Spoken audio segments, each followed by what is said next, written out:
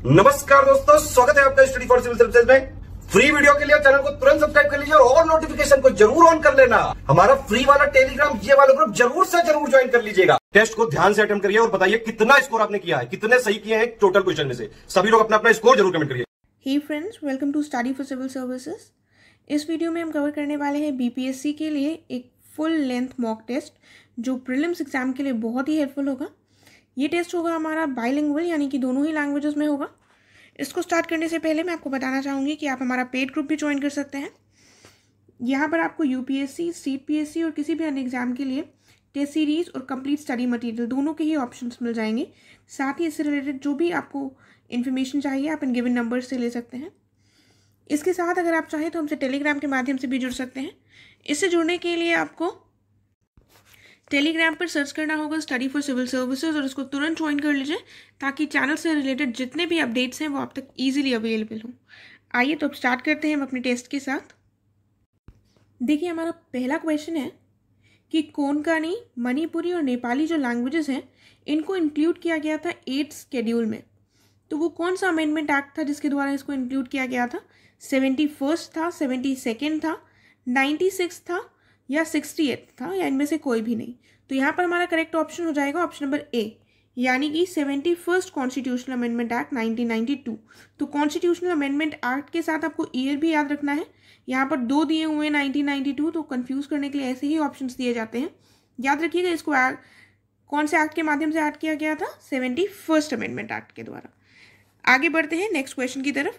इसमें हमें बताना है कौन सा करेक्ट नहीं है।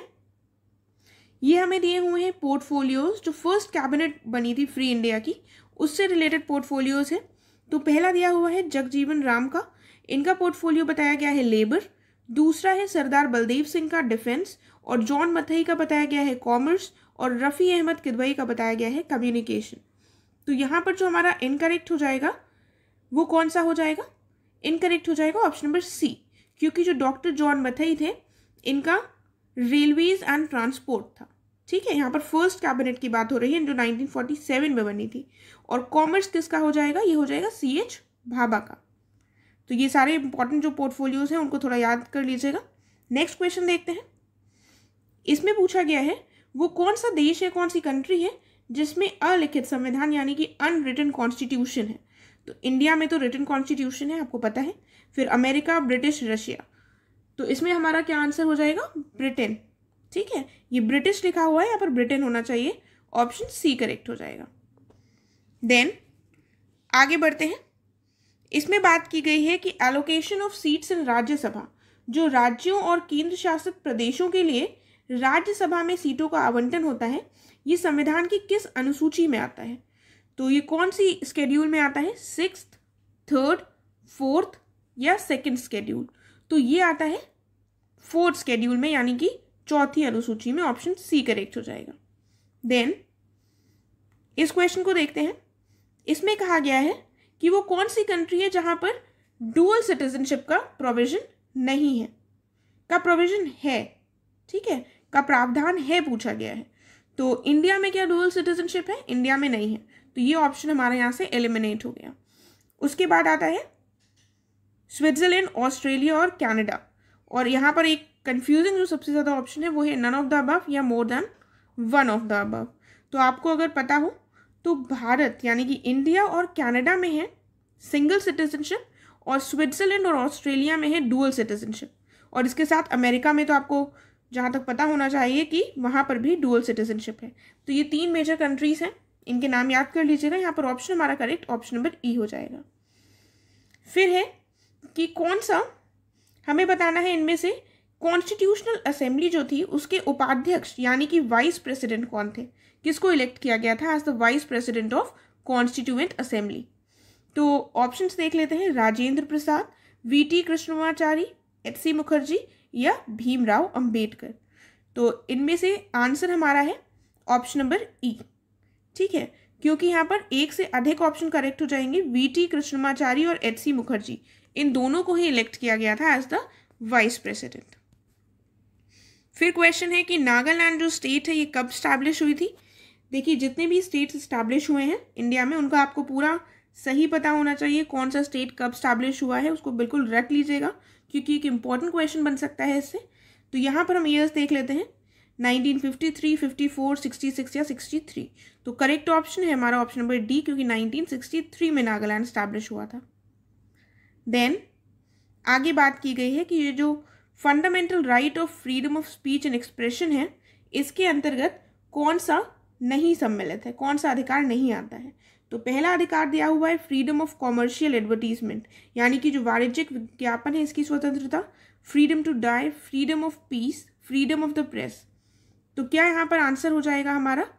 ऑप्शन बी हो जाएगा। देखिए हमको ये आर्टिकल जो है ये मरने की स्वतंत्रता नहीं देता है, यानी हमारे पास ये फ्रीडम नहीं है कि हम जब चाहें मर सकें। ठीक है, इसीलिए जो लोग सुसाइड कर लेते हैं, उनके ऊपर केस चलाया जाता है।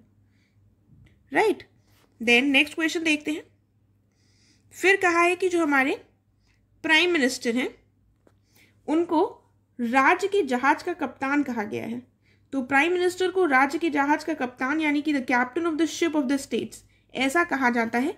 ये किसने कहा था बेसिकली तो मुनरो ने कहा था मॉर्ले ने कहा था ग्रैनवेल ऑस्टिन या विंस्टन चर्चिल तो यहाँ पर करेक्ट ऑप्शन हो जाएगा मुनरो यानी कि ऑप्शन ए तो ये थोड़ा रटने वाला पॉइंट है लर्न कर लीजिएगा।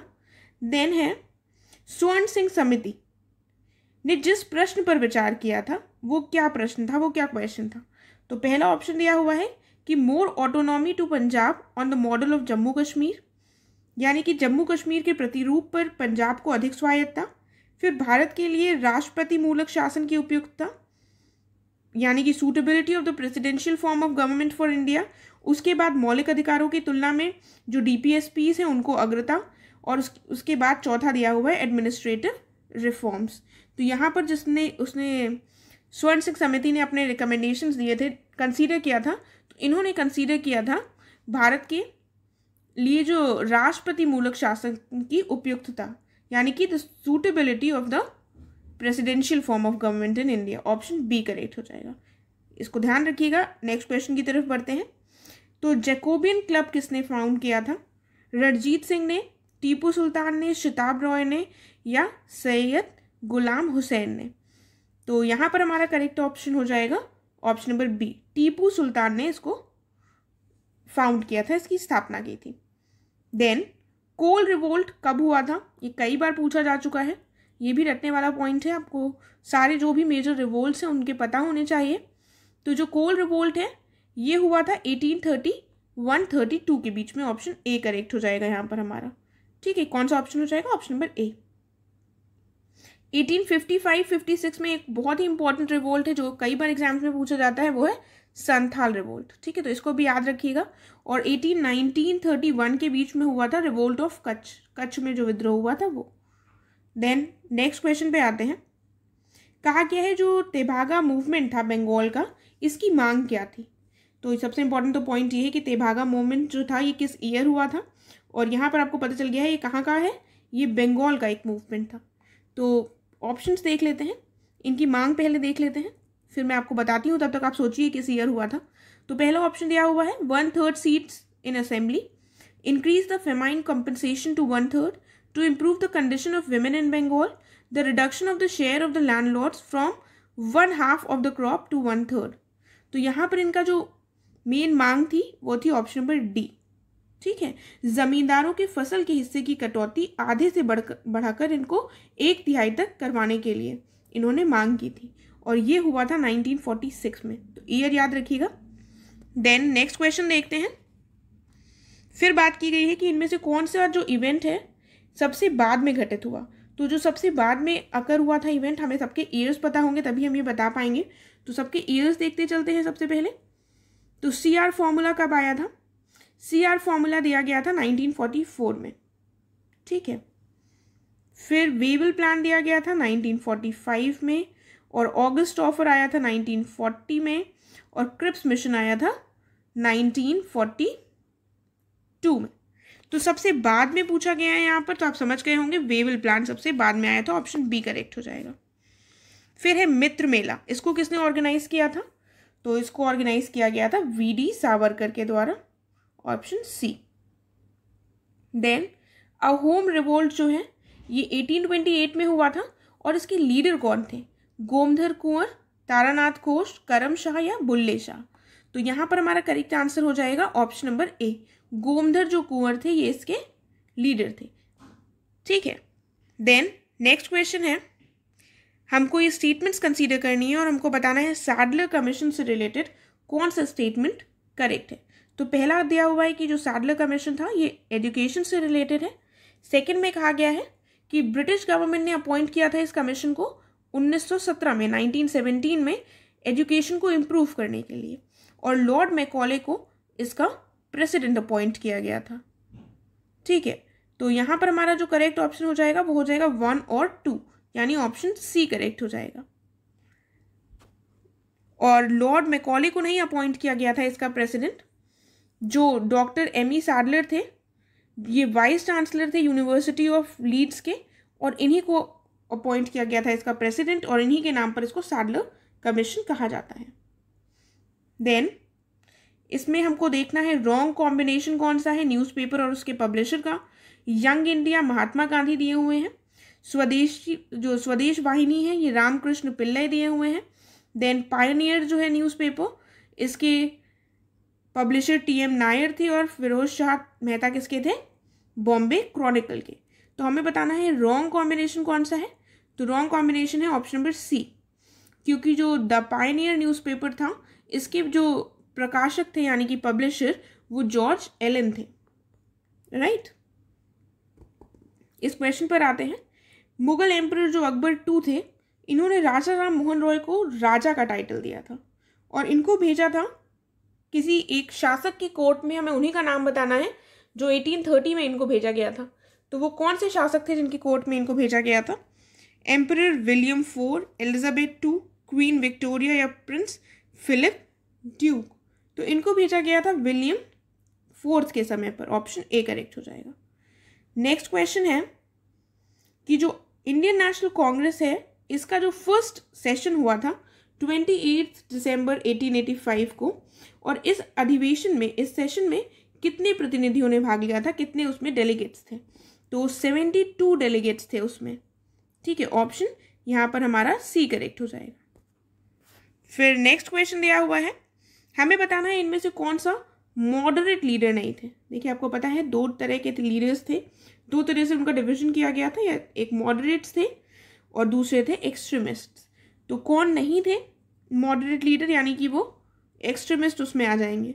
तो दिनशा वॉचा, वोमेश चंद्र बैनर्जी, लाला लाजपत राय और औरबिंदो घोष। ऑप्शन यहाँ पर हमारा हो जाएगा ऑप्शन नंबर ई क्योंकि यहाँ पर एक से अधिक हैं जो एक्सट्रीमिटली एक्सट्रीमिस्ट लीडर्स हैं। कौन कौन से वो हो जाएँगे? एक तो लाला लाजपत राय और दूसरे औरबिंदो घोष। दोनों ही एक्सट्रीमिस्ट लीडर्स थे। इसके अलावा बाल गंगाधर तिलक और बिपिन चंद्रपाल भी इसी कैटेगरी में आएँगे। और दिनशा वच और जो व्योमेश चंद्र बैनर्जी थे और फिरोज शाह मेहता, दादा भाई नौरोजी, ये लोग आ जाएँगे मॉडरेट लीडर की कैटेगरी में। यहाँ पर हमारा ऑप्शन ई करेक्ट होगा। फिर क्वेश्चन है, ऋग्वेद का जो थर्ड मंडल है, इसके रचयिता कौन थे? वामदेव, विश्वामित्र अत्रि या भारद्वाज। तो जो थर्ड मंडल है, उसके रचयिता थे विश्वामित्र। ठीक है? ऑप्शन बी करेक्ट है। देन हमें बताना है कि महावीर स्वामी की मृत्यु के बाद जैन जो संघ था, इसके फ़र्स्ट अध्यक्ष, यानी कि जो फ़र्स्ट प्रेसिडेंट थे, वो कौन थे? भद्रबाहु जामाली, सुधर्मन और तीसरा है स्थूलभद्र। तो यहाँ पर इंग्लिश में थोड़ा कन्वर्जन गलत है, यहाँ पर स्थूलभद्र हो जाएगा। तो आंसर यहाँ पर हमारा करेक्ट हो जाएगा ऑप्शन नंबर सी सुधर्मन। ठीक है, ये पहले प्रेसिडेंट बने थे।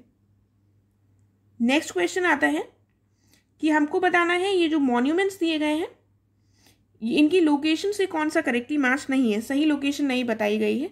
तो पहला दिया हुआ है राणा भार स्तूप ये कुशीनगर में बताया गया है। साहित महेत श्रावस्ती में नाना राम जो मठ है, ये वाराणसी में। और उसके बाद धामेक स्तूप ये दिया हुआ है सारनाथ में। देखिए, यहाँ पर हमारा करेक्ट आंसर क्या होगा? इसमें थोड़े ऑप्शंस गलत हैं। हिंदी वाला देखिए, यहाँ पर घोषिता राम मठ दिया हुआ है और यहाँ पर नाना राम मठ दिया हुआ है, इसको हटा दीजिएगा। घोषिता राम मठ जो है, ये पड़ता है हमारा कौशाम्बी में। ना कि वाराणसी में। Right right? इसलिए हमारा करेक्ट आंसर हो जाएगा ऑप्शन नंबर सी क्योंकि यही इनकरेक्टली मैच्ड है अपनी लोकेशन से। नेक्स्ट क्वेश्चन देखते हैं। हमें बताना है वो कौन सा चाइनीज़ ट्रैवलर था जो भारत आया था। ठीक है? तो सुंगयुंग फाहीन इत्सिंग और यूनसांग तो यहाँ पर आपको पता है ये सभी लोग आए थे भारत ऑप्शन ई करेक्ट हो जाएगा। फिर नेक्स्ट क्वेश्चन है। कि इनमें से किस डायनेस्टी का जो हमें मेंशन मिलता है, उल्लेख मिलता है, वो संगम लिटरेचर में में नहीं मिलता है। वो कौन सी डायनेस्टी है जिसका उल्लेख संगम लिटरेचर में नहीं है? तो चोल, चेर, पल्लव और पांडे। यहाँ पर हमारा करेक्ट ऑप्शन हो जाएगा पल्लव। पल्लवों का उल्लेख नहीं मिलता है हमको संगम लिटरेचर में। बाकी चोर, चेर और पांडे का मिलता है। देन हमको इनकरेक्ट स्टेटमेंट बतानी है। कहा गया है, जो उपवेद है, वो चार है। और वेदांग पाँच हैं और मत्स्य पुराण सबसे पुराना जो पुराण है वो है और जितने पुराण हैं उनकी संख्या अट्ठारह है। तो यहाँ पर हमको बताना है इनकरेक्ट स्टेटमेंट कौन सा है? तो जो इनकरेक्ट स्टेटमेंट है, वो है हमारा ऑप्शन नंबर बी देखिए, वेदांग जो है, वो छः है ना कि पाँच। कौन से छः हैं मैं आपको बता देती हूँ। शिक्षा, कल्प, निरुक्त, छंद, व्याकरण, ज्योतिष। तो इनका नाम याद रखिएगा। नेक्स्ट देखते हैं। अब हमें बताना है कौन सा करेक्टली मैच्ड नहीं है यहाँ पर। लोथल और उसके जो रिसर्चर बताए गए हैं, वो बताए गए हैं S R Rao then Banawali के आर एस विष्ट चनहुदड़ों के जॉर्ज टेल्स और कालीबंगन के अमलानंद घोष तो ऑप्शन नंबर सी जो है, ये गलत है क्योंकि चनहुदड़ों के जो खोजकार थे, वो कौन थे? वो थे आर सी मजूमदार राइट तो ये ऑप्शन यहाँ पर हमारा करेक्टली मैच नहीं है। फिर दिया हुआ है जो जैन धर्म है, इसको अन्य नामों से भी जाना जाता है। वो कौन सा नाम है? पहला दिया हुआ है कुरुचक, यापनीय, श्वेतपट और निर्ग्रंथ। तो यहाँ हमारा करेक्ट ऑप्शन हो जाएगा option number C sorry option number C नहीं ऑप्शन ई करेक्ट हो जाएगा, क्योंकि यहाँ पर ये सारे ही नामों से जाना जाता है जैन धर्म को। राइट देन इसमें पूछा गया है कि कौन से एनिमल्स जो हैं, वो हरप्पन कल्चर की सील्स में हमें दिखाई पड़ते हैं। तो पहला टाइगर डियर शीप और राइनोसरस तो ये सारे ही दिखाई पड़ते हैं ऑप्शन ई करेक्ट हो जाएगा। देन फिर बात की गई है पल्लव हिस्ट्री से रिलेटेड पूछा गया है कि इसमें दक्षिणा चित्रा क्या है। यानी कि दक्षिणा चित्रा के लिए ऑप्शंस पढ़ लेते हैं।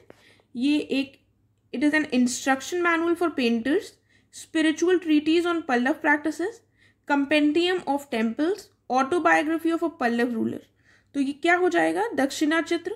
दक्षिणा चित्र हो जाएगा an instruction manual for painters यानी चित्रकारों के लिए ये एक निर्देश पुस्तिका है। ठीक है? देखिए महेंद्र वर्मन जो पल्लव वंश के सबसे महान शासकों में एक थे ये चित्रकला के काफ़ी ज़्यादा शौकीन थे। ठीक है? और इन्होंने ही चित्रकारों के लिए एक निर्देश पुस्तिका को बनाया था। और इसी को कहा गया दक्षिणा चित्र। राइट नेक्स्ट क्वेश्चन की तरफ़ बढ़ते हैं। तबकात नासिरी, इसको कंपोज किसने किया है? मिनहाज सिराज ने। तो ये तो पहले लर्न कर लीजिएगा, अगर आपको नहीं पता है। अब पूछा गया है, इसकी लैंग्वेज क्या है? पर्शियन अरेबिक संस्कृत या उर्दू तो इसकी लैंग्वेज है पर्शियन ऑप्शन ए करेक्ट हो जाएगा। आगे बढ़ते हैं। इनकरेक्ट हमें बताना है।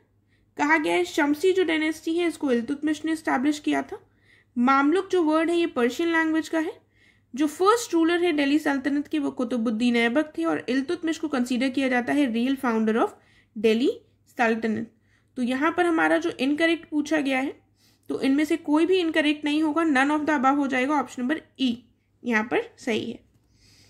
नेक्स्ट देख लेते हैं। थर्टी फोर्थ क्वेश्चन इसमें बात की गई है। कि गुजरात के अहमदाबाद में जामा मस्जिद जो है, इसका निर्माण किसने करवाया था? महमूद खिलजी ने, अहमद शाह, मुजफ्फर शाह या जफ़र खां? तो इसको किया गया था निर्मित अहमद शाह के समय पर ऑप्शन बी करेक्ट हो जाएगा। देन इनमें से किसने अबला बाबा का टाइटल किसके पास था? इब्राहिम टू, इब्राहिम लोदी, मोहम्मद आदिल शाह या अहमद शाह? तो ऑप्शन करेक्ट हो जाएगा option number A Ibrahim two, यानी कि इब्राहिम द्वितीय के पास था, अबला बाबा का, की जो उपाधि थी। ठीक है? इसके अतिरिक्त इनको जगत गुरु की उपाधि भी दी गई थी। और इब्राहिम टू ने ही इस्टेब्लिश किया था नौरसपुर नगर। तो ये तो कुछ इंपॉर्टेंट पॉइंट्स हैं, इनसे रिलेटेड याद रखिएगा। नेक्स्ट क्वेश्चन की तरफ़ बढ़ते हैं। हमें बताना है कि बाबरनामा जो है, ये बेसिकली तुर्की लैंग्वेज में लिखा गया था। लेकिन इसका इंग्लिश में जो कन्वर्जन है ट्रांसलेशन वो किसने किया है? मिसेस बेवरीज ने, लीडन ने, दारा शिकोह ने या एल्किन ने? तो ये किसके द्वारा किया गया है? ये किया गया है मिसेस बेवरेज के द्वारा ऑप्शन ए करेक्ट हो जाएगा। आगे बढ़ते हैं। बात की गई है कि बाबर के चार बेटे थे, चार पुत्र थे और इसमें से कौन उनका पुत्र नहीं था? Which one of the following is not his son तो इजी प्रश्न है, अगर आपको पता है, जल्दी से बताइए इसका क्या आंसर होगा। ऑप्शंस यहाँ पर दिए हुए हैं। हुमायूं, अस्करी, हिंदल और कमरुद्दीन।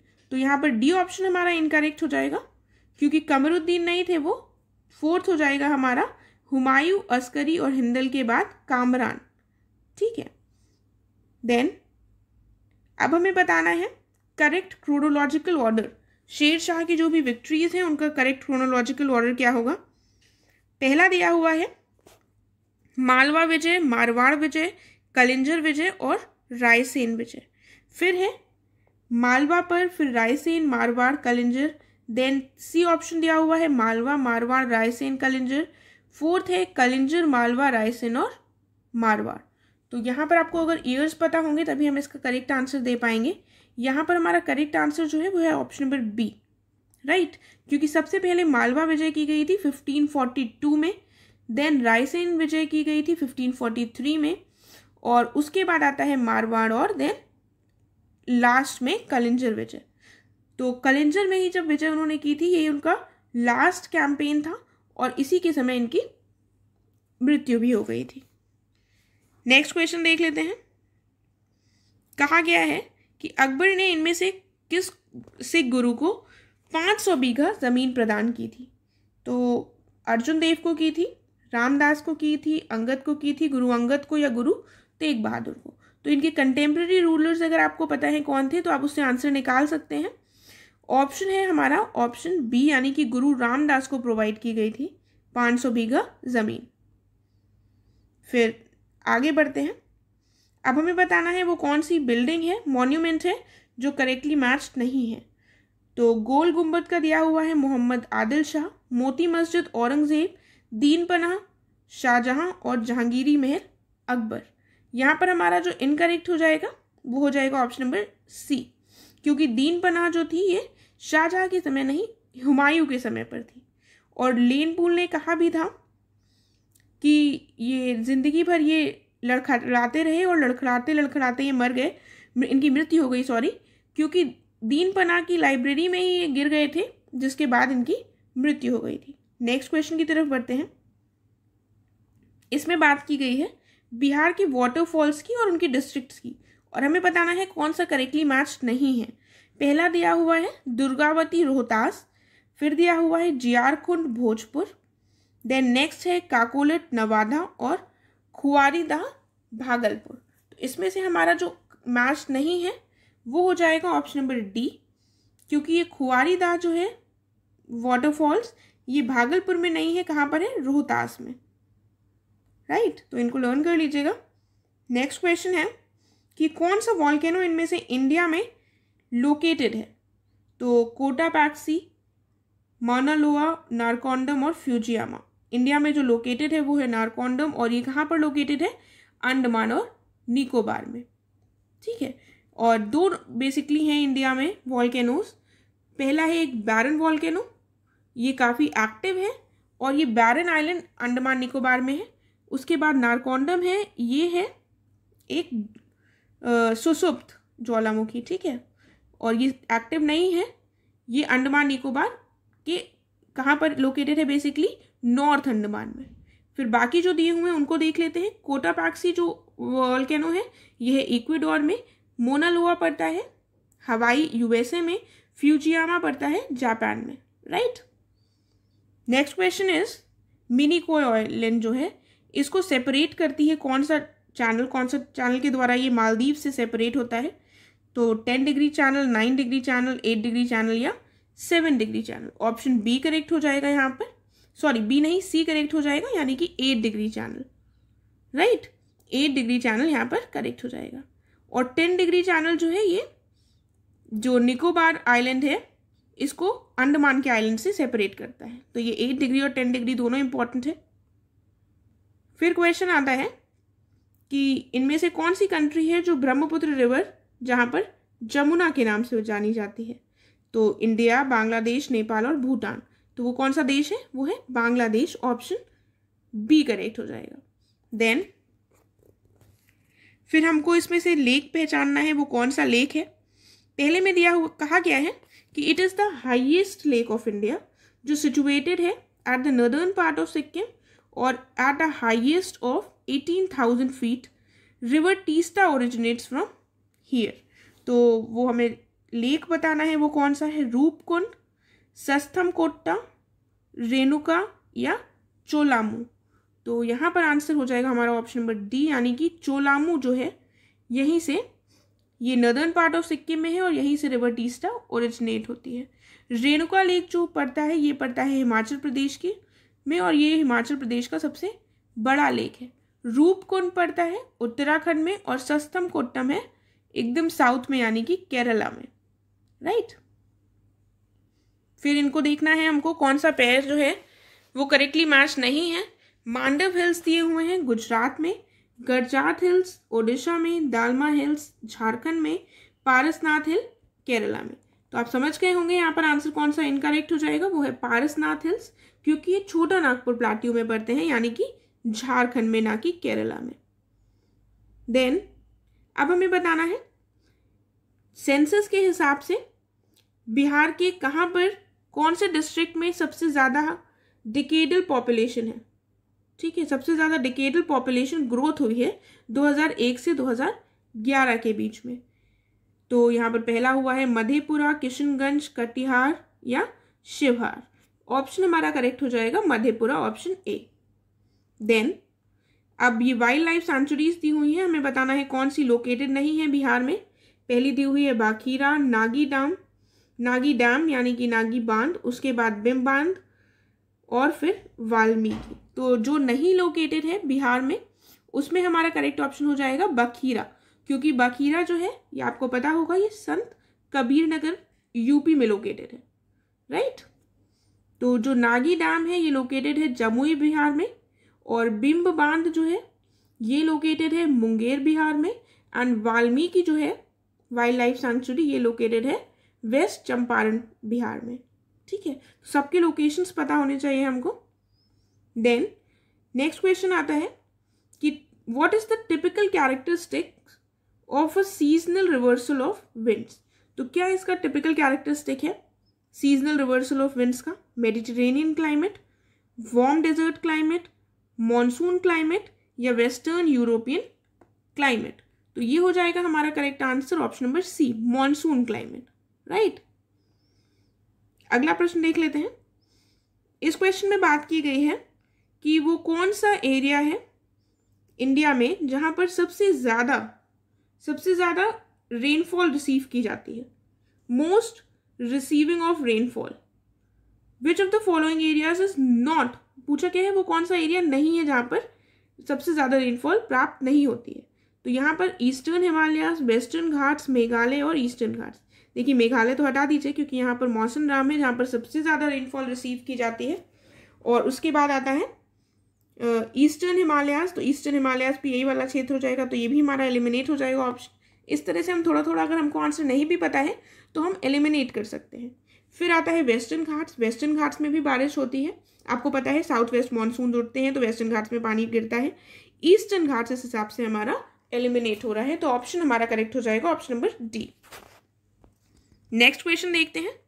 अब हमको बताना है कि इनमें से कौन सा वो देश है जिसकी जो बाउंड्री है, जो बॉर्डर है, वो वेस्ट बंगाल के साथ नहीं लगा हुआ है? तो वो कौन सा देश है? देख लेते हैं। नेपाल, बांग्लादेश, भूटान या म्यांमार। तो अगर आपने मैप सही से देखा होगा तो आप समझ गए होंगे। तो जो बॉर्डर नहीं टच करता है वेस्ट बंगाल के साथ, वो है म्यांमार ऑप्शन नंबर डी अगर आप नहीं समझ पाए तो एक बार तुरंत मैप को देखिए, ताकि इसको आप कभी नहीं भूलें। देन ये हिमालयन रेंजेस हैं, हमको इनको सीक्वेंस में लगाना है proper from north to south तो सबसे टॉप पर आ जाता है हमारा, कौन सी माउंटेन आ जाएगी? काराकोरम। उसके बाद आ जाएगा लद्दाख और उसके बाद आ जाएगा जास्कर। तो ऑप्शन हमारे यहाँ पर करेक्ट कौन सा बैठ रहा है? ऑप्शन नंबर ए ठीक है? देन अब हमें फिर से बताना है कौन सा करेक्टली मैच नहीं है। पहला दिया हुआ है Abhinav Bharat 1904 Hindustan socialist republic association 1928 Rashtriya Swayamsevak संघ 1905 फॉरवर्ड ब्लॉक 1939 तो यहाँ पर हमारा करेक्ट ऑप्शन हो जाएगा ऑप्शन नंबर सी क्योंकि जो राष्ट्रीय स्वयंसेवक संघ है, इसको कब स्टैब्लिश किया गया था? 1925 को। ठीक है? 1925 में इस्टेब्लिश हुआ था और इसको इस्टेब्लिश किया गया था केशव बलीराम हेगवाड़ के द्वारा। ठीक है? हेड गेवर के द्वारा। तो यहाँ पर ये ऑप्शन हमारा करेक्ट हो जाएगा। देखिए, अब आपको ये पता चल गया है, इसके ईयर्स कौन कौन से सही हैं? तो ये जो बाकी तीनों ऑर्गेनाइजेशंस हैं, इनके जो मेन लीडर्स थे जिन्होंने इसको स्टैब्लिश किया, उनके नाम बताइएगा कमेंट करके। बहुत इंपॉर्टेंट है क्योंकि ये पॉइंट आपको पता होना चाहिए, इनको किसने किसने स्टैब्लिश किया है। तो इसको ज़रूर कमेंट कीजिएगा। नेक्स्ट क्वेश्चन देख लेते हैं हम। इसमें बात की गई है कि जो इंडियन नेशनल कांग्रेस में सूरत स्प्लिट हुआ था 1907 में, ये किस नदी के किनारे हुआ था? तो ये इजी क्वेश्चन है। देख लेते हैं पहले ऑप्शंस फिर मैं आपको आंसर बताती हूँ। नर्मदा, ताप्ती, साबरमती और माही। तो यहाँ पर हमारा ऑप्शन कौन सा हो जाएगा? ताप्ती रिवर यानी कि option number B right Surat कौन सी रिवर बैंक में लोकेटेड है? तो सूरत ताप्ती रिवर के किनारे लोकेटेड है, इसलिए यहाँ पर ऑप्शन बी करेक्ट है।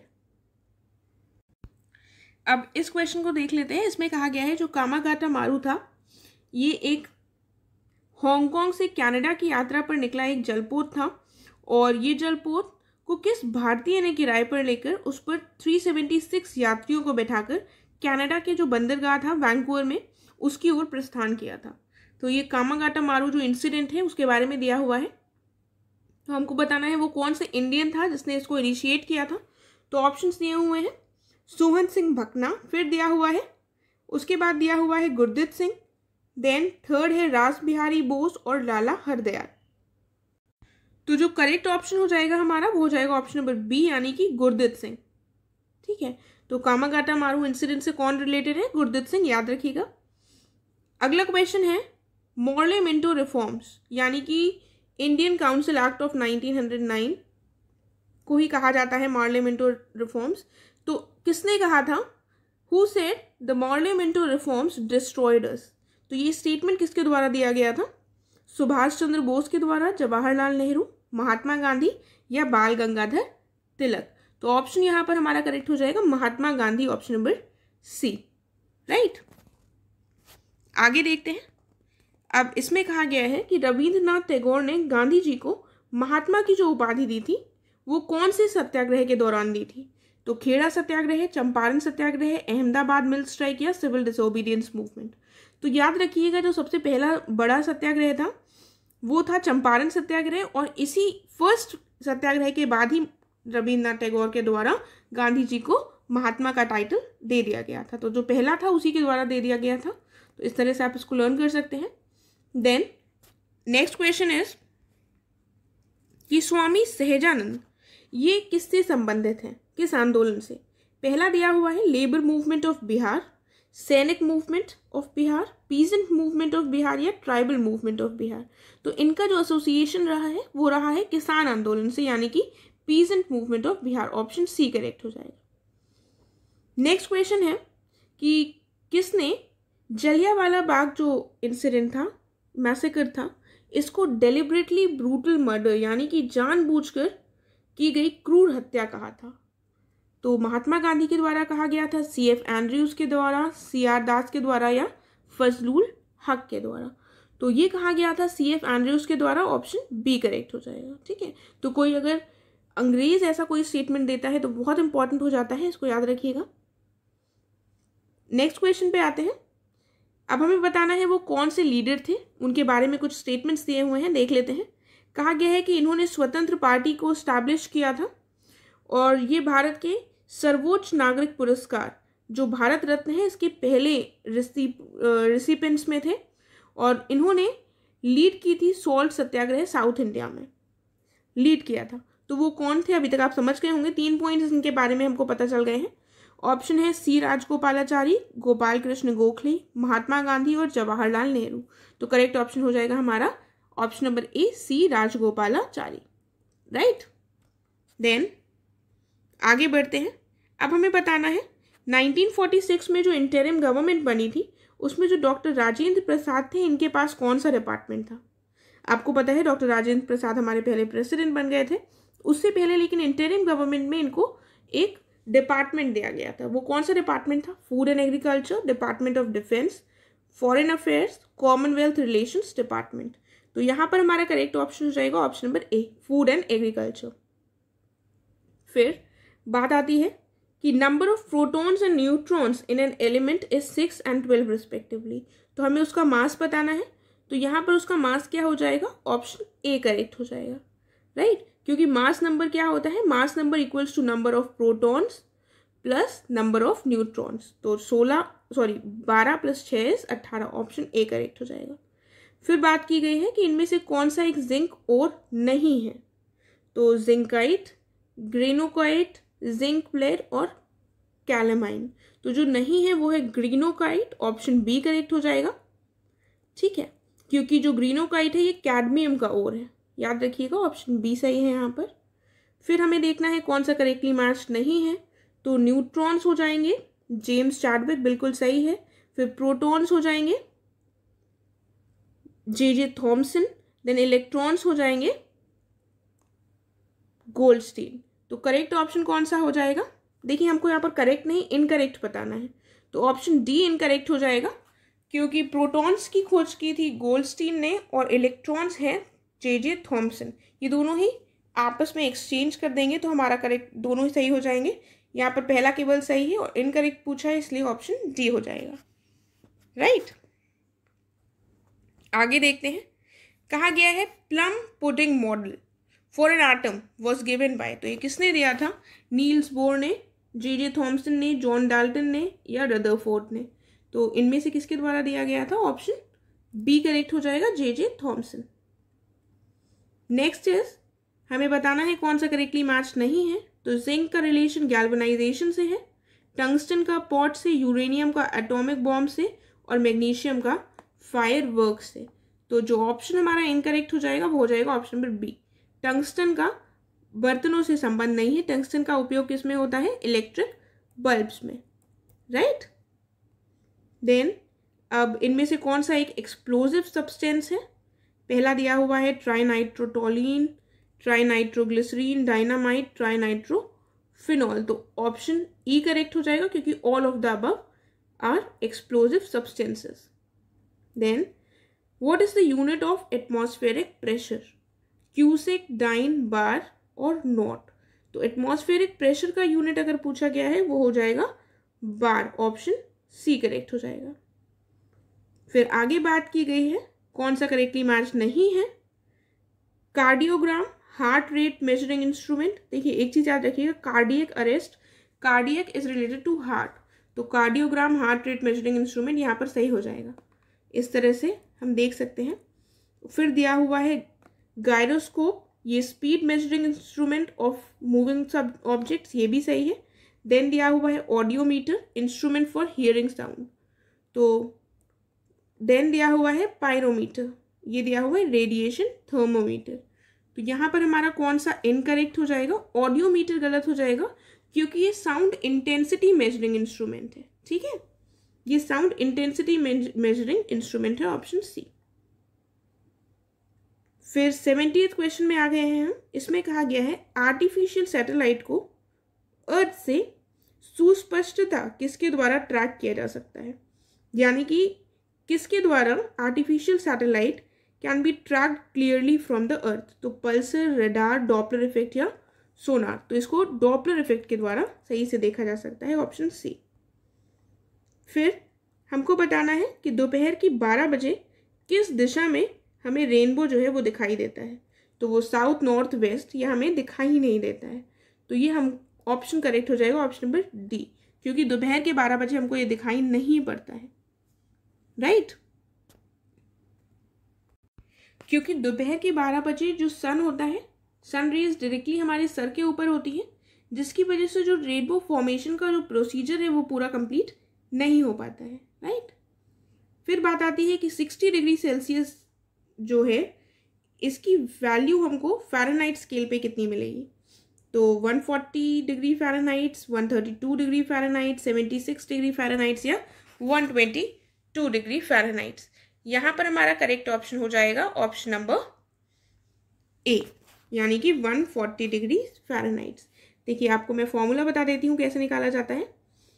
यहाँ पर हो जाएगा C upon five equals to F minus thirty two upon nine तो इस तरह से अगर आप इसको कैलकुलेट करेंगे तो ये निकल आएगा।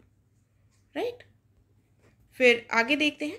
आप हमें बताना है which of the following uranium isotope isotopes is use in nuclear power plants to produce electricity आपको पता है न्यूक्लियर पावर प्लांट से भी इलेक्ट्रिसिटी हमें मिलती है। तो वो कौन सा यूरेनियम का आइसोटोप है जिसको यूज़ किया जाता है इसमें? तो इसका आंसर हो जाएगा हमारा करेक्ट ऑप्शन नंबर डी यानी कि uranium U two thirty five ठीक है यूरेनियम टू थर्टी फाइव का यूज़ होता है। आगे बढ़ते हैं। हमें फिर से बताना है कौन सा करेक्टली मैच नहीं है। लेक्सिकोग्राफी में कहा गया है collection of dictionaries entomology study of insects हो जाएगा। तो हमने देख लिया कि एंटोमोलॉजी की बात की गई है स्टडी ऑफ़ इंसेक्ट्स की आइकोनोग्राफी में स्टडी ऑफ़ स्टैचूज और पेंटिंग की बात की गई है, और पीरोलॉजी में स्टडी ऑफ़ माउंटेन्स यहाँ पर हमको इनकरेक्ट बताना है तो जो इनकरेक्ट हो जाएगा, वो हो जाएगा ऑप्शन नंबर डी क्योंकि जो पीडोलॉजी है, इसका संबंध स्टडी ऑफ़ सॉइल से होता है और स्टडी ऑफ़ माउंटेन्स आता है ओरोलॉजी के अंतर्गत राइट ओरोलॉजी हो जाएगा स्टडी ऑफ़ माउंटेन्स फिर से हम नेक्स्ट क्वेश्चन देखते हैं और इसमें हमको इनकरेक्ट बताना है एक बार फिर तो जिंजर कहा गया है, एक स्टेम होता है पोटैटो जो है, ये ट्यूबर होता है गार्लिक बल्ब हो जाएगा एंड उसके बाद कहा गया है कि जो जिमी कंद होता है, ये कॉर्न हो जाएगा? तो हमें इनकरेक्ट यहाँ पर बताना है। ऑप्शन जो हमारा इनकरेक्ट है, वो हो जाएगा ऑप्शन नंबर ए यानी कि जो जिंजर है, ये स्कन ना होकर सॉरी तना ना होकर क्या हो जाएगा? प्रकंद यानी राइजोम हो जाएगा। जिंजर एक राइजोम है। आगे बढ़ते हैं। फिर क्वेश्चन है कि हमारे ब्रेन का कौन सा पार्ट है जिसको जो मैसेज कलेक्टिंग सेंटर कहा जाता है जिसको, यानी कि जो संदेशों को एकत्रित करता है तो थैलमस हाइपोथैलमस सेरिब्रम या मेड्यूला तो वो होता है सेरेब्रम ऑप्शन सी करेक्ट हो जाएगा। इसमें बात की गई है, वो कौन सा एंजाइम है जो हेल्पफुल नहीं है in the digestion of protein तो काइमोट्रिप्सिन ट्रिप्सिन लाइपीज या पेप्सिन तो यहाँ पर हमारा जो करेक्ट हो जाएगा, वो हो जाएगा ऑप्शन नंबर सी यानी कि लाइपेज ठीक है, ये करेक्टली मैच नहीं है। ये करेक्ट नहीं है because it is not helpful in the digestion of protein बाकी ये सब प्रोटीन के डाइजेशन में हेल्पफुल है। फिर आता है सेकेंड लार्जेस्ट ग्लैंड पूछा गया है ह्यूमन बॉडी का। लास्ट टेस्ट में हम हमने कवर किया था। लार्जेस्ट कौन सा है ग्लैंड लार्जेस्ट पूछा था पार्ट बॉडी का। तो यहाँ पर लार्जेस्ट ग्लैंड पूछा गया है, वो भी सेकेंड लार्जेस्ट तो सेकेंड लार्जेस्ट हो जाएगा हमारा पैनक्रियाज ऑप्शन डी हो जाएगा हमारा सेकेंड लार्जेस्ट राइट फिर हमें बताना है इसमें से कौन सा करेक्ट नहीं है। तो जो सिल्क है प्रोड्यूस की जाती है स्पाइडर्स के द्वारा, उसको गोजामर सिल्क कहा जाता है। Only female mosquitoes suck blood the plants growing on the rock are called stony fits और the edible part of the turmeric plant को राइजोम कहा जाता है। तो जो करेक्ट नहीं है, वो ऑप्शन हो जाएगा हमारा ऑप्शन नंबर सी ठीक है, ये गलत है, क्योंकि the plants growing on the rocks are called lithophytes यानी कि चट्टान पर जो उगने वाले जो प्लांट्स होते हैं, उनको शैलोद्विद कहा जाता है। ठीक है, शैलोद्विद, यानी कि लिथोफाइट्स बाकी ये सारे पॉइंट सही हैं, इनको देख लीजिएगा। आगे बात की गई है कि इनमें से कौन सा वाइटामिन है जिसकी कमी से पेलेग्रा रोग होता है पेलेग्रा डिज़ीज़ तो vitamin B three B six A या सी तो जिसकी कमी से होता है वो है B three vitamin B three option A correct हो जाएगा। और बाकी जिनकी कमी से क्या क्या कौन कौन से डिजीजेज होते हैं? तो बी सिक्स की डिज़ीज़ जो वाइटामिन बी सिक्स है, इसकी कमी से जो डिज़ीज़ होता है वो होता है अनीमिया बेसिकली और स्किन डिजीजेस भी होते हैं। और ए से हो जाएगा नाइट ब्लाइंडनेस और ज़ीरो जीरोपथैल्मिया और सी से क्या हो जाएगा? Scurvy disease. ठीक है। फिर कहा गया है कि milk is not a source of which of the following nutrients. तो मिल्क में वो कौन सा न्यूट्रिएंट है जो नहीं पाया जाता है? कैल्शियम तो बहुत पाया जाता है, आपको पता है। उसके बाद है प्रोटीन, देन कार्बोहाइड्रेट्स और वाइटामिन सी। तो वाइटामिन सी बेसिकली उन चीज़ों में पाया जाता है जो खट्टी होती हैं और तो यहाँ पर हमारा करेक्ट ऑप्शन क्या हो जाएगा? ऑप्शन नंबर डी राइट आगे देख लेते हैं। अब कहा गया है ग्लोबल मैक्रो आउटलुक 2021 जो रिपोर्ट है तो by how much has Moody's investors service reduced India's growth rate in 2020 तो इस रिपोर्ट के हिसाब से मूडीज इन्वेस्टर्स समिट ने 2020 में भारत की विकास दर को घटाकर कितना कर दिया है? तो ये कर दिया है ढाई प्रतिशत। ठीक है ऑप्शन बी करेक्ट हो जाएगा। देखिए, अगर आप रिसेंटली डेटा देखेंगे तो ये बहुत ही और भी कम कर दी गई है। ठीक है, लेकिन इस समिट में अगर आप बात करें, इस ग्लोबल मैक्रो आउटलुक 2021 रिपोर्ट की बात करें अगर तो इसमें इतनी ही की गई थी। बाकी रिसेंटली इंडिया की जो ग्रोथ रेट है, उसको काफ़ी ज़्यादा घटा कर बताया गया है प्रिडिक्ट किया गया है तो उनको देख लीजिएगा। किसी का भी पूछा जा सकता है। फिर है कि अभी रिसेंटली भुवनेश्वर, उड़ीसा में एक ट्वेंटी फोर्थ बैठक का आयोजन किया गया था। पूर्वी आंचलिक परिषद की ट्वेंटी फोर्थ बैठक का, यानी कि ईस्टर्न जोनल काउंसिल की ट्वेंटी फोर्थ बैठक का आयोजन किया गया था। इसको चेयर किसकी? किसके द्वारा किया गया था? तो किसने किया था? इसको चेयर किया गया था अमित शाह के द्वारा ऑप्शन सी करेक्ट हो जाएगा। देन फिर बात की गई है कि मध्य प्रदेश के कौन से डिस्ट्रिक्ट में सोलर पार्क लगाया गया है। ठीक है? और ये एक क्लस्टर है सोलर पावर प्लांट्स का। तो ये रिसेंटली न्यूज़ में था। ऑप्शंस दिए हुए हैं उज्जैन, इंदौर शाहजहाँपुर और उमरिया। तो ऑप्शन हमारा करेक्ट हो जाएगा ऑप्शन नंबर सी शाहजहाँपुर ठीक है? ऑप्शन सी करेक्ट हो जाएगा यहाँ पर। देखिए, यहाँ पर हमारा सोलर पार्क पूछा गया है तो शाहजहाँपुर हो जाएगा। मध्य प्रदेश के ही रीवा में एक सोलर पावर प्लांट भी खोला गया है, जो नरेंद्र मोदी जी के हमारे प्राइम मिनिस्टर के द्वारा इनाग्रेट किया गया था जिसको। तो दोनों ही इंपॉर्टेंट है, याद रखिएगा। नेक्स्ट देखते हैं। कहा गया है वो कौन सा स्टेट है जिसने अपने द्वारा जो उत्पादित प्रदूषक हैं उनकी मात्रा के आधार पर अपने स्टार रेटिंग प्रोग्राम को उद्योगों के लिए लॉन्च कर, करने वाला ये तीसरा राज्य बन गया है। तो वो कौन सा हो जाएगा? जो थर्ड राज्य बन गया है, इसका करेक्ट आंसर हो जाएगा झारखंड, यानी ऑप्शन नंबर बी ठीक है? तो जो इसके अलावा दो स्टेट्स हैं, वो है महाराष्ट्र और ओडिशा। महाराष्ट्र और ओडिशा।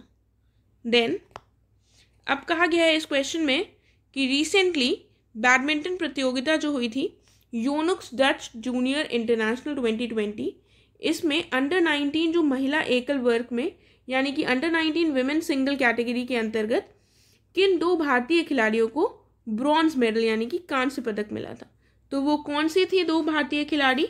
वो थी option number C Tasneem Mir और मानसी सिंह राइट फिर ICC women's T twenty world cup twenty twenty के बारे में हमको करेक्ट स्टेटमेंट बताना है। कहा गया है, ये ऑस्ट्रेलिया में हुआ था और इसमें दस वेमेन क्रिकेट टीम्स ने पार्टिसिपेट किया था फ्रॉम डिफरेंट कंट्रीज़ से आई थी ये। एंड देन इंडिया ने इसको जीता था ऑस्ट्रेलिया को डिफीट कर कर। तो आपको पता है, इंडिया ने नहीं, ऑस्ट्रेलिया ने इसको जीता था, इंडिया को डिफीट कर कर तो ऑप्शन हमारा करेक्ट हो जाएगा ऑप्शन नंबर बी यानी कि पहला और दूसरा स्टेटमेंट बिल्कुल सही है।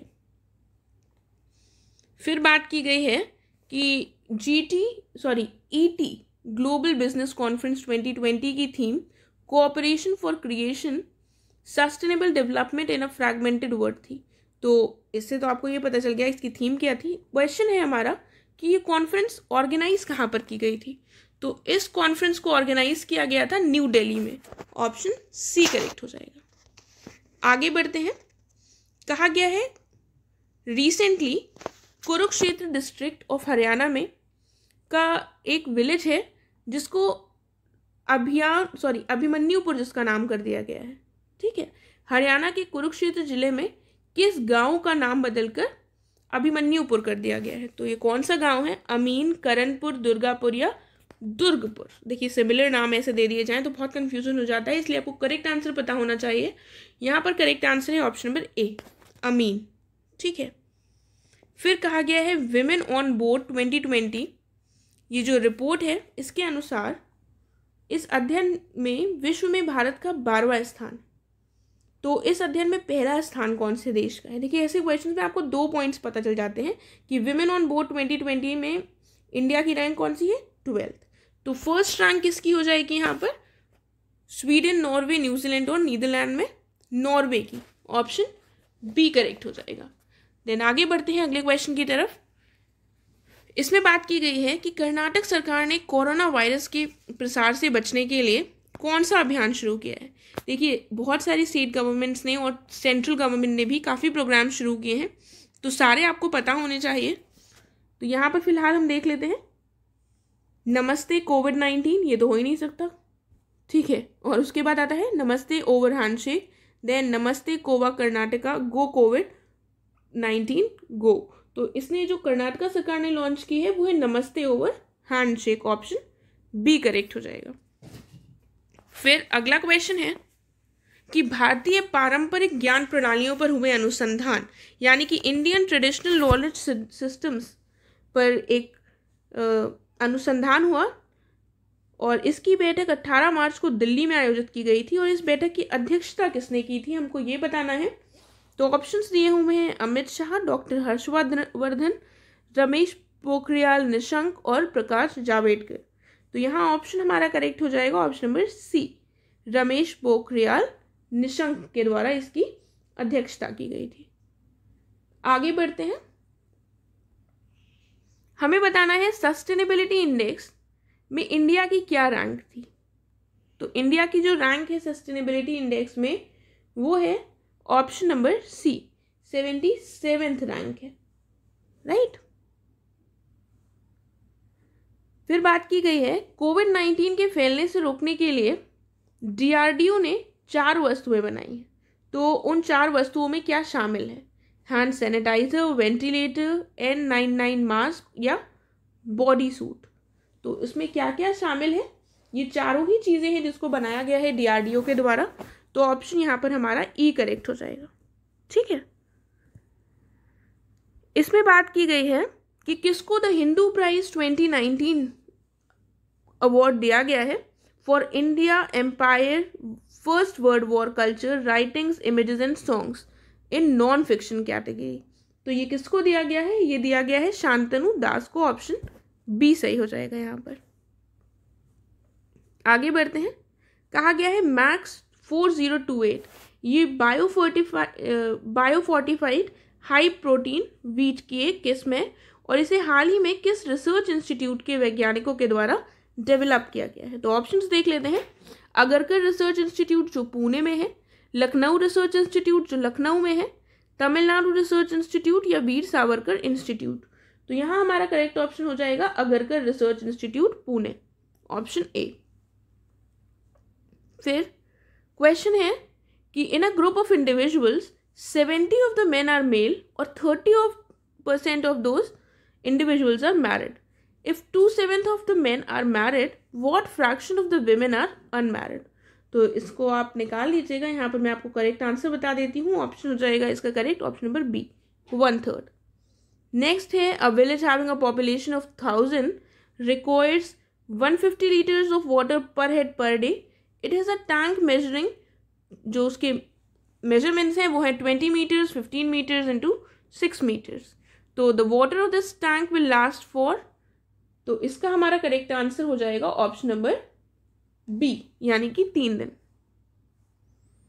फिर नेक्स्ट दिया हुआ है? द लेंथ ऑफ़ जो रेक्टेंगल है, इसको इंक्रीज कर दिया जाता है sixty percent by what percent would the width has to be decrease to maintain the same area so the answer to this question is option number A thirty seven point five percent फिर बात आती है कि is 18 times uh, 18 years old and his son is 2 into 2 years old.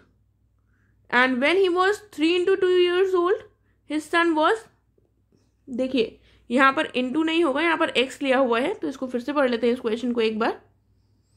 कहा गया है a man is eighteen X years old and is son is two X two years old when he was 3x 2 years old, his son was x plus 4 years old. तो how old was he 5 years from now? देखिए तो यहाँ पर हम correct answer देख लेते हैं। Correct answer हो जाएगा हमारा ऑप्शन नंबर सी यानी कि sixty seven years old right फिर क्वेश्चन है the height of a right circular cylinder is twenty one centimetres ठीक है? And its curve surface area is nine two four square centimetres तो volume बतानी है हमको यहाँ पर। ऑप्शन हमारा करेक्ट हो जाएगा ऑप्शन नंबर सी, यानी कि three two three four cubic centimetres आगे बढ़ते हैं नेक्स्ट क्वेश्चन है। सिंपल इंटरेस्ट का, इसमें कहा गया है the simple interest on a certain sum for two years is rupees one twenty और कंपाउंड इंटरेस्ट दिया हुआ है वन ट्वेंटी नाइन तो हमको रेट ऑफ़ इंटरेस्ट निकालना है। करेक्ट ऑप्शन हो जाएगा ऑप्शन नंबर बी यानी फिफ्टीन परसेंट राइट इसमें दिया हुआ है कि एक्स इज़ टू फोर और वाई इज़ टू फाइव दिया हुआ है, हमको एक्स और इज़ टू वाई का रेशियो निकालना है। तो करेक्ट आंसर जो हमारा यहाँ पर हो जाएगा, वो हो जाएगा ऑप्शन बी यानी फोर इज़ टू फाइव आगे देखते हैं। कहा गया है डब्लू जब काम twenty five percent of a work कर सकता है, इन तीस दिनों में एक्स कर सकता है one fourth of the work in ten days Y कर सकता है forty percent of the work in forty days और जेड कर सकता है one third of the work in thirteen days तो who will complete the work first तो सबसे पहले कौन करेगा काम? ऑप्शन हो जाएगा हमारा डी जेड के द्वारा। अगला क्वेश्चन है length of a rectangle is increase by forty percent and breadth जो है वो डिक्रीज होती है थर्टी परसेंट के द्वारा। तो एरिया में क्या चेंज होगा रेक्टेंगल के? तो यहाँ पर हमारा जो करेक्ट आंसर हो जाएगा, वो हो जाएगा ऑप्शन नंबर बी यानी टू परसेंट डिक्रीज होगा। ठीक है? फिर बात आती है if the height of equilateral triangle is two root three centimetres और देन हमें बताना है area in centimetre squares of the equilateral triangle क्या आंसर होगा यहाँ पर? ये हो जाएगा four root three option C correct हो जाएगा। आगे देख लेते हैं। बात की गई है कि low cost mechanical ventilator Ruhdaar ठीक है? यह रूडार इसको डिज़ाइन किया गया था I U S T Pulwama के द्वारा 26 अप्रैल 2020 को। Which IIT develop this ventilator तो वो कौन से आईआईटी था? आईआईटी हैदराबाद, बॉम्बे, कानपुर या इंदौर? तो करेक्ट आंसर हो जाएगा IIT Bombay option number B आगे देख लेते हैं। अब हमें बताना है इनमें से कौन सा करेक्ट नहीं है। पहले में कहा गया है कि रोंगाली बिहू हार्वेस्ट फेस्टिवल असम का जो है, इसको सेलिब्रेट किया जाता है अप्रैल में। मिनिस्ट्री ऑफ़ टूरिज़्म ने लॉन्च की है एक वेब सीरीज़ देखो अपना देश, और इंडिया ने रिसीव किया है पाँच lakh rapid covid nineteen test kits from China और डॉक्टर भीमराव अंबेडकर की बर्थ एनिवर्सरी कब होती है? चौबीस अप्रैल को। तो यहाँ पर हमारा करेक्ट ऑप्शन क्या हो जाएगा? ऑप्शन नंबर डी है, वो इनकरेक्ट दिया हुआ है, क्योंकि भीमराव अंबेडकर की जो बर्थ एनिवर्सरी है, ये चौबीस अप्रैल को नहीं होती है। इसका आंसर मैं आपको नहीं बता रही हूँ कब होती है, इसको हम ऑलरेडी डिस्कस कर चुके हैं पहले के टेस्ट में। तो इसका आंसर कमेंट कर कर बताइएगा। इंपॉर्टेंट क्वेश्चन है और काफ़ी इजी भी है। नेक्स्ट क्वेश्चन देखते हैं हम। अगला क्वेश्चन है हमारा कि कौन सी इंपॉर्टेंट बुक्स हैं जिनको रिसेंटली रिलीज़ किया गया है रस्किन बॉन्ड के द्वारा? देखिए रस्किन बॉन्ड की जो भी बुक्स होती है, वो एग्ज़ाम के पॉइंट ऑफ़ व्यू से इंपॉर्टेंट हैं और दो बुक्स इन्होंने अभी रिलीज़ की हैं। तो वो कौन कौन सी हैं? पहली दी हुई है हॉप ऑन दूसरी है a song of India valley of the dolls या माइंड प्लेस तो करेक्ट आंसर हमारा हो जाएगा ऑप्शन नंबर ई क्योंकि इसमें हॉप ऑन और song of India song of India ये दोनों ही रिसेंटली रिलीज़ है. तो more than one of the above हो जाएगा. फिर बात आती है कि इनमें से कौन सा स्टेटमेंट है जो करेक्ट नहीं है? पहले में कहा गया है कि हरियाणा स्टेट गवर्नमेंट ने लॉन्च किया है ऑप्टी मित्र एक हेल्पलाइन है जो बाईस अप्रैल को लॉन्च की थी। उसके बाद है, देखिए, यहाँ पर ये ऑप्टी मित्र है और ये आप्त मित्र है। ठीक है तो ये मतलब कंफ्यूज मत होइएगा। फिर है, चाइना का फ़र्स्ट मार्स एक्सप्लोरेशन मिशन का नाम तियानबेन है। तियानबेन वन है। सऊदी अरेबिया ने अबॉलिश कर दिया है flogging as a punishment flogging क्या है? कोड़े मारने की सज़ा। उसके बाद एक गोवा पहला स्टेट बन गया है to have zero covid nineteen state in the to be the zero covid nineteen state in the country तो यहाँ पर नॉट करेक्ट पूछा गया है हमसे तो नॉट करेक्ट हो जाएगा ऑप्शन नंबर ए देखिए, अभी अगर आपको पता है तो यहाँ पर ये भी गलत है, क्योंकि गोवा ऐसा स्टेट नहीं है। गोवा में भी बीच में ऐसा हुआ था कि ज़ीरो हो गए थे कोविड नाइन्टीन के केसेस लेकिन फिर से काफ़ी ज़्यादा केसेस वहाँ पर भी देखने को मिले। तो कई जैसे न्यूजीलैंड ने भी बीच में सेलिब्रेट कर लिया था कि उनके यहाँ कोविड नाइन्टीन ख़त्म हो गया है। उन्होंने विक्ट्री पा ली है कोविड नाइन्टीन पर, लेकिन फिर से वहाँ पर एक लहर कोविड नाइन्टीन की देखने को मिलती है। तो सेम केस गोवा के साथ रहा। इसीलिए हम यहाँ पर जो करेक्ट आंसर मानेंगे, वो मोर देन वन हो जाएगा। यहाँ पर करेक्ट आंसर हो जाएगा हमारा option number E right option E correct हो जाएगा यहाँ पर। देखिए तो हमने देख लिया कि डी जो है वो स्टेटमेंट इनकरेक्ट हो गया है। ए भी इनकरेक्ट हो गया, क्योंकि ये ऑप्टी मित्र पहले तो इसको सही कर लीजिए, ये आप तो मित्र ही होगा, ये ऑप्टी मित्र लिख गया है। आप तो मित्र जो है, ये हेल्पलाइन स्टार्ट की गई है कर्नाटका गवर्नमेंट के द्वारा, ना कि हरियाणा के द्वारा। तो ऑप्शन ई करेक्ट है, यहाँ पर हमने देख लिया। फिर हम बढ़ते हैं वर्ल्ड ऑटिज्म अवेयरनेस डे जिसकी थीम क्या थी? द ट्रांजिशन ऑफ़ अडल्टहुड ये किस दिन सेलिब्रेट किया जाता है? तो वर्ल्ड ऑटिज्म डे को सेलिब्रेट किया जाता है सेकेंड अप्रैल को। ऑप्शन हमारा करेक्ट हो जाएगा ऑप्शन नंबर ए। ठीक है। नेक्स्ट क्वेश्चन है कि आईएएस और आईपीएस सहित जो भी केंद्रीय सिविल सेवा के अधिकारियों का प्रतिनिधित्व करने वाले संघों ने कोरोना वायरस से लड़ने के लिए एक पहल की शुरुआत की है। देखिए, ये पहल काफ़ी इंपॉर्टेंट है क्योंकि ये जो ब्यूरोक्रेट्स हैं, उनके द्वारा स्टार्ट की गई थी, इसका आंसर हो जाएगा option number C Karuna initiative था। ठीक है, इसका फुल फॉर्म क्या है, ये जानना इंपॉर्टेंट है। तो करुणा जो पहले इसका फुल फॉर्म है civil services association reach to support in natural disasters ठीक है? तो civil services association reach to support in natural disasters किसका फुल फॉर्म है? करुणा का। फिर आगे बढ़ते हैं। बात की गई है कि इनमें से किसे पहली बार पाँच अप्रैल 2020 को संयुक्त राष्ट्र के द्वारा ये दिवस मनाया गया था। तो वो कौन सा दिवस हो जाएगा यहाँ पर? ऑप्शन हमारा क्या होगा? पहला दिया हुआ है नेशनल मैरीटाइम डे दूसरा दिया हुआ है इंटरनेशनल डे ऑफ़ कॉन्शियंस फिर है इंटरनेशनल हेल्थ डे और नेशनल क्यूरियोसिटी डे तो करेक्ट आंसर हो जाएगा ऑप्शन नंबर हमारा बी यानी कि अंतरराष्ट्रीय अंतश्चेतना दिवस international day of conscience B option correct हो जाएगा.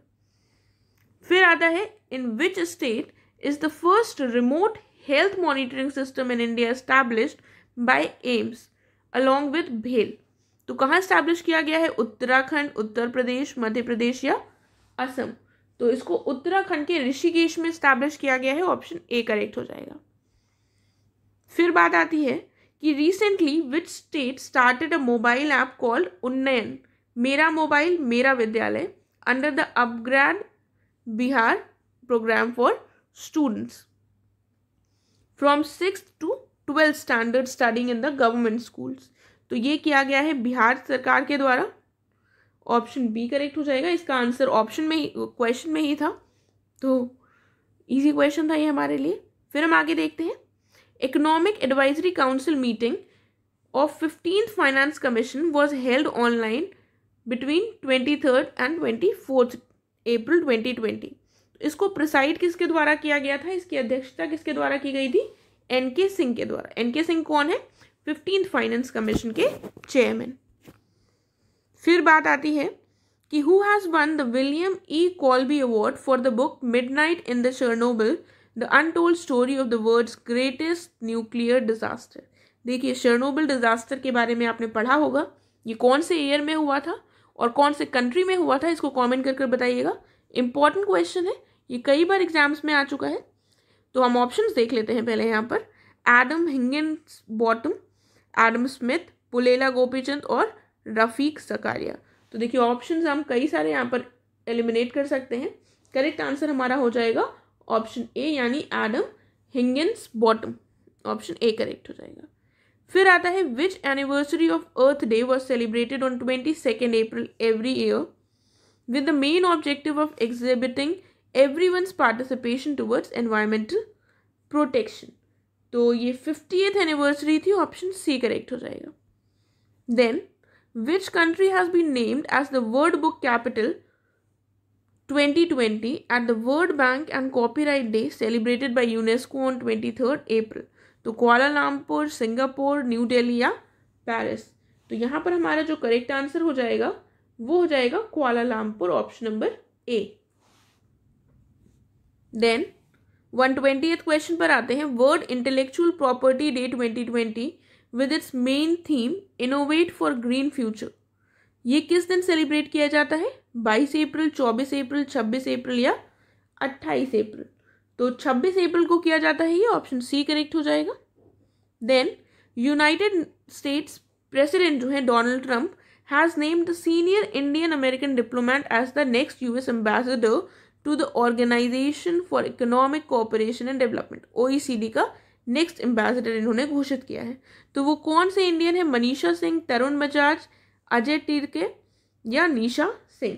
तो करेक्ट ऑप्शन हो जाएगा हमारा Manisha Singh option number A फिर आता है इकोनॉमिक सर्वे ऑफ़ इंडिया ने पब्लिश किया है। इस published economic survey of India जो है पब्लिश किया जाता है एनुअली किसके द्वारा? वर्ल्ड बैंक के द्वारा, बिल्कुल भी नहीं रिज़र्व बैंक के द्वारा, बिल्कुल भी नहीं। नीति आयोग, उसके बाद मिनिस्ट्री ऑफ़ फाइनेंस या के द्वारा। तो किसके द्वारा किया जाता है? भारत सरकार के वित्त मंत्रालय के द्वारा, यानी कि ऑप्शन डी करेक्ट हो जाएगा। फिर बात आती है कि under which section of the RBI act the government has the power to consult with the RBI governor in public interest यानी कि सरकार को जनहित में आरबीआई गवर्नर के साथ परामर्श करने का अधिकार कौन सी सेक्शन में दिया हुआ है? ये दिया हुआ है सेक्शन सेवन में। ऑप्शन यहाँ पर ए करेक्ट हो जाएगा राइट फिर है कि इनमें से किसको इंक्लूड नहीं किया जाता है कैपिटल अकाउंट में बैलेंस ऑफ़ पेमेंट्स के? यानी कि भुगतान संतुलन के जो पूंजी खाते में इसमें से किसको शामिल नहीं किया जाता है? तो वो हो जाएगा हमारा पहले ऑप्शन देख लेते हैं, फिर मैं आपको बताती हूँ। तो पहला है foreign direct investment NRI deposits import of services banking capital तो करेक्ट हो जाएगा option C import of services फिर क्वेश्चन है what is a Maharaja bond Maharaja bond क्या है? Dollar dominated bonds bonds of euro domination bonds of rupee domination देखिए Maharaja bond है तो ये रुपी डोमिनेशन से ही होंगे, ठीक है? रुपी डोमिनेटेड बॉन्ड होंगे तो करेक्ट आंसर हमारा सी हो जाएगा। फिर क्वेश्चन है कि इनमें से कौन सा बैंक है जिसको इंक्लूड नहीं किया गया है? टू बिग टू फेल में, ठीक है? तो वो कौन सा बैंक है? पहले सारे देख लेते हैं। आईसीआईसीआई है स्टेट बैंक ऑफ़ इंडिया है और एचडीएफसी है। Bank of India too big to fail की कैटेगरी में नहीं आता है राइट right? फिर है which among the following statement is not correct तो सारी स्टेटमेंट्स देख लेते हैं। पहले में कहा गया है living organisms are uniformly distributed throughout the biosphere तो नॉट करेक्ट में पहला ही स्टेटमेंट आप समझ गए होंगे, ये गलत हो जाएगा, क्योंकि यूनिफॉर्मली डिस्ट्रीब्यूटेड नहीं है पूरे बायोस्फीयर में।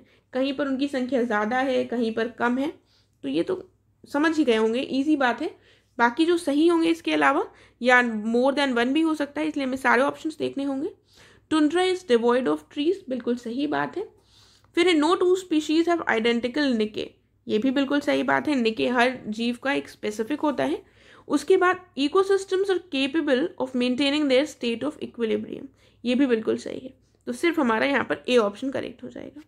आगे दिया हुआ है succession causes the increase in number of niche food web complexity या इंक्रीज डाइवर्सिटी तो यहाँ पर पहला और तीसरा हो जाएगा ऑप्शन डी करेक्ट हो जाएगा।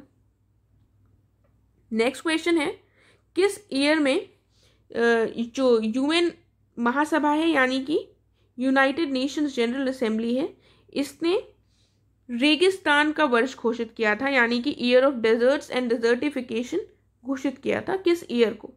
तो वो कौन सा ईयर था जिसको डिक्लेयर किया गया था? International year of deserts and desertification by United Nations General Assembly. तो वो ईयर है हमारा ऑप्शन नंबर डी, यानी कि 2006 को घोषित किया गया था। फिर प्रश्न आता है from which source we get the information about the establishment of Tughlaq power in north Bihar region तो वो कौन सा सोर्स है? मफिन मनिकबुल असाफिया सिरते फिरोज शाही दाते फिरोज शाही तो यहाँ हमारा ऑप्शन है, वो करेक्ट हो जाएगा ई e. राइट आगे बढ़ते हैं। अगला प्रश्न है। इस क्वेश्चन में बात की गई है कि वो कौन सा सूबेदार था बिहार का जिसने रिवोल्ट किया था during the time of Ibrahim Khan Lodi यानी कि इब्राहिम खान लोधी के समय में बिहार के किस सूबेदार ने विद्रोह किया था? तो वो दरिया खान नोहानी बहार खान मोहम्मद शाह या नुसरत शाह? तो करेक्ट आंसर हो जाएगा हमारा ऑप्शन नंबर ए दरिया खान नोहानी आगे बढ़ते हैं। कहा गया है वो कौन सा शासक था जिसने बंगाल में अमीन बंगला नामक अधिकारी की नियुक्ति की थी? तो ऑप्शन है नुसरत शाह, मोहम्मद शाह, फरीद खान या बहार खान। तो करेक्ट हो जाएगा फरीद खान ऑप्शन सी फिर बात आती है कि शेर शाह के द्वारा पटना की जो का रिकंस्ट्रक्शन का विवरण जो है, ये कहाँ से मिलता है? यानी कि पटना के पुनर्निर्माण का विवरण। तो ऑप्शंस दिए हुए हैं, तारीख दाऊदी, शेर शाह, जहांगीरनामा या बाबरनामा। तो ये हमें मिलता है तारीख दाऊदी से ऑप्शन ए करेक्ट हो जाएगा।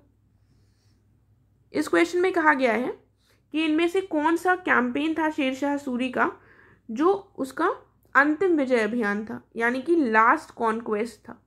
तो मालवा, रायसेन, राजस्थान या कलिंजर, ये हम ऑलरेडी क्वेश्चन देख चुके हैं, इसका आंसर आपको अभी तक आ गया होगा। तो करेक्ट आंसर क्या हो जाएगा इसका? कालिंजर। फिर क्वेश्चन है कि इनमें से कहाँ पर शेरशाह सूरी का मकबरा बना हुआ है? तो हाजीपुर, सासाराम, मानेर या पूर्णिया? ऑप्शन बी करेक्ट हो जाएगा सासाराम। नेक्स्ट क्वेश्चन है कि 1564 में अकबर के शासनकाल में किस अमीर ने बिहार को इंडिपेंडेंट घोषित कर दिया था? तो वो कौन सा था? पहला है सुलेमान कररानी फिर दाऊद खान, हसन खान या बरहा Khan.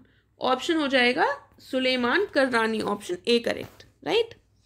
Then Sher Khan married the widow of subedar of किसकी विडो से मैरी किया था?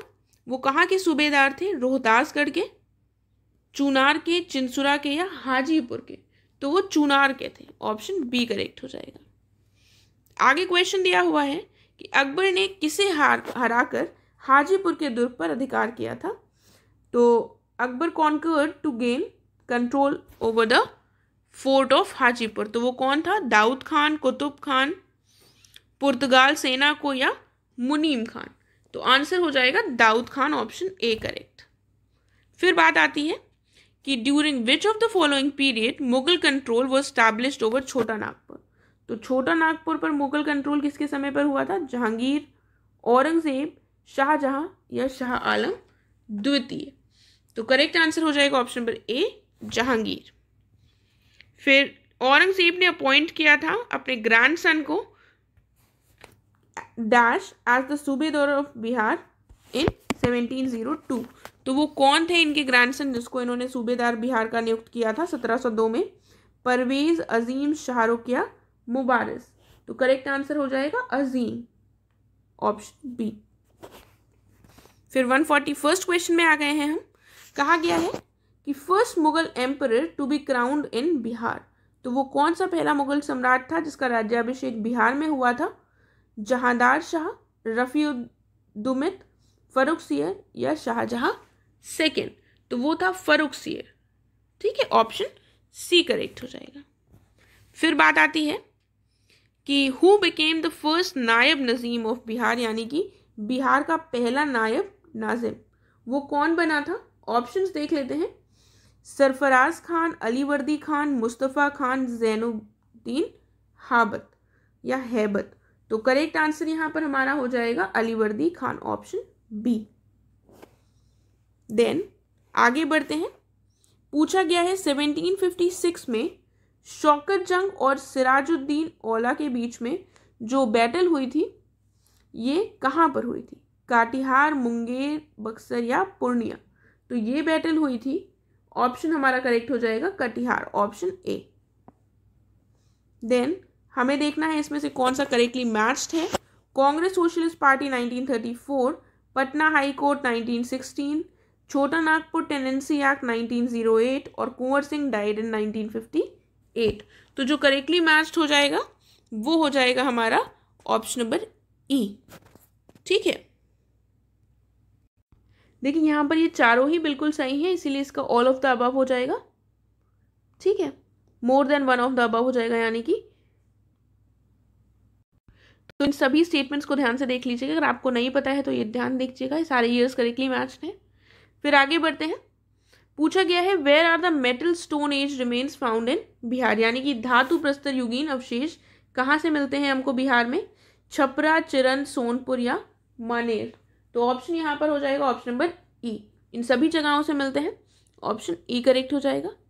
फिर बात आती है कि परवर्ती गुप्त शासकों के बारे में जानकारी कहाँ से प्राप्त होती है। ऑप्शंस दिए हुए हैं अप्सर इंस्क्रिप्शन गया का देववर्णक इंस्क्रिप्शन आरा का, मंदर इंस्क्रिप्शन भागलपुर का और शाहपुर इंस्क्रिप्शन तो ये हमें प्राप्त होता है। ऑप्शन नंबर ई यहाँ पर एक बार फिर से करेक्ट हो जाएगा। देन नालंदा महाविहार का पता किसने लगाया था? तो नालंदा महाविहार का पता दयाराम सहानी कनिंगम मैकेजी या व्हीलर में से किसके द्वारा लगाया गया था? कनिंगम के द्वारा, ऑप्शन बी।